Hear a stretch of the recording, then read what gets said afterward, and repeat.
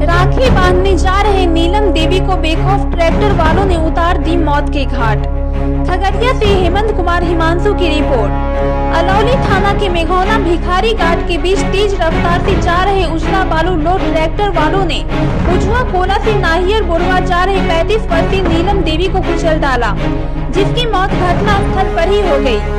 सुनते ही लोगों के बीच सनसनी फैल गई।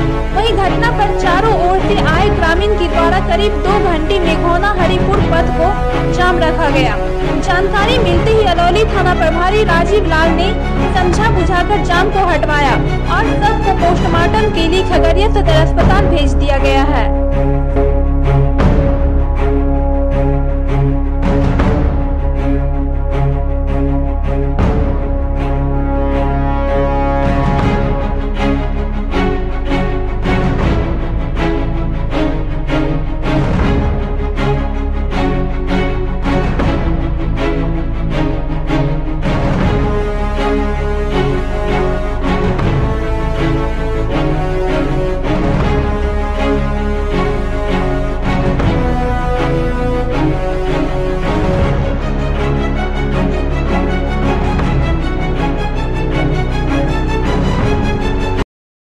अररिया से परवेज आलम की रिपोर्ट। अररिया के रानीगंज प्रखंड के कमालपुर गाँव में तालाब में डूबने से युवक की मौत हो गई। पुलिस ने वारानियों को पकड़ने के लिए गई थी। युवक हड़बड़ाहट में पुलिस को देखकर तालाब में कूद पड़ा। सबको पोस्टमार्टम के लिए भेज दिया गया है।